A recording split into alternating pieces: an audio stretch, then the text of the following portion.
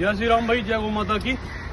जिस कन्हैया लाल ने नारे लगाए थे कि भारत तेरे टुकड़े हो, अफजल तेरे कातिल ज़िंदा हैं, हम शर्मिंदा हैं। दे दो भाई, सर फट चुका पूरा। दोनों भाइयों ने चांटे का जवाब दिया है। चौथे पुस्ते पे रेली थी यहाँ पे। चौथे पुस्ता उस्मानपुर पे रेली थी भाई। और वहाँ बोल के मुँह पे सही फेंक कर मुँह पे चाटा दे के जवाब दिया है कि भारत के टुकड़े कोई नहीं कर सकता।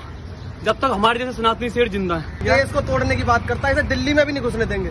ये भारत के सैनिकों को देशद्रोह वो बताता है बलात्कारी रेपिस्ट, रेपिस्ट बताता है इसका इलाज कर दिया है। आप लोगों को न्यूज़ पहुँच जाएगी सभी को। बहुत बढ़िया इलाज कर दिया जो कहा था वो कर दिया। जितने भी आर्मी के जय जितने भी जवान भारत माता की जय। का बदला लिया जी। इंडियन आर्मी जिंदाबाद।